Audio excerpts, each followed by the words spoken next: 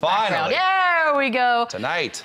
Finally, the NBA is back. Mavs are in Boston getting ready to, to do things, Chandler. Um, let's just start. We got a million questions as we KD get, in- Are you what are we doing? Every once in a while, you got to get a jumper up. Is that It true? what- it is what it is. And what are you doing? Ow. Yeah, see, don't. That's embarrassing. um, you're 100. Uh, whose legacy? Let's start there. Legacies start tonight. See, we've had this conversation about like leg. Uh, it's not Tatum or Luka because they have so much time, right? I think whose legacy is affected by this the most is Kyrie Irving. He's already got one. He can get again. He can overcome every negative headline that's ever been about him. All the, the, the you know the hot water he's been in. Now he has a chance to go into what's going to be an extremely hostile environment that he kind of created, which is fine. True that. But now this dude is happy and he's playing at such an elite level where I think this, if he can somehow pull this off and get another championship with everything he's been through, playing second fiddle to Luka on most nights, but then also being the guy on some other nights and going back into Boston and knocking off a heavy favorite, favorite who you used to play for where it didn't really pan out. God, nice. It's got to be Kyrie Irving to me, just because Tatum, Brown,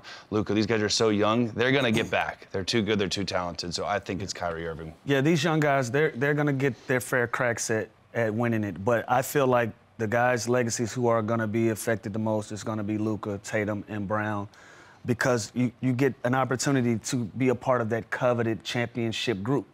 We, the league has superstars. We have all stars. We have guys that we love. But when it comes to championships, that is a special group. That is a special, special thing that you can be a part of. And so for that, Kyrie is already there. Kyrie is already True. one of those guys. He has a ring already. He's a part of that group already. For one of these guys to have that opportunity to join him on the other side of uh, NBA royalty, I think it's going to be one of these young guys. Can I throw something to someone else out there? Sure. I think it's also Joe Mazzulla. But not, not, no, not everyone's convinced on him. Now he has a chance to become a championship coach. He's got to the mountaintop and he actually succeeded and did it.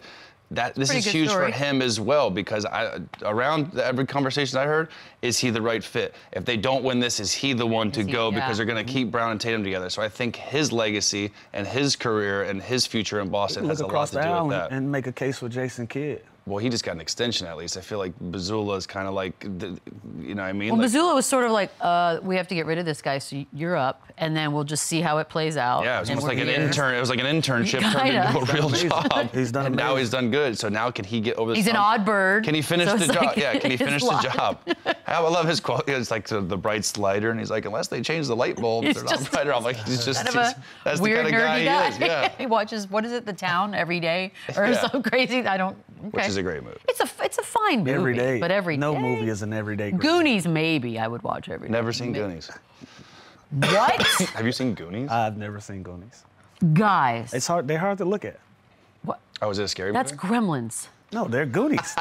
It- we're talking about the guy with the one eyeball in the middle of His name is Sloth. There's That's not hard to finally a game at. tonight. We're talking about Hey, these you goddamn guys! Goonies. We're, we're easily distracted. Okay, we have, it here. all of us have brain problems. Um, fine, let's get back to it. So, so the we obviously know the Garden tonight, uh, TD, is going to be ridiculously loud and hostile. Um, do you think? I think there's two schools of thought, I, and I don't think it's the first one.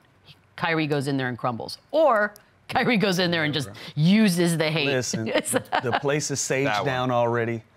Um, the vibes up, the vibes up here, and Kyrie, better than anybody else, knows what what's to be expected. He played in Boston.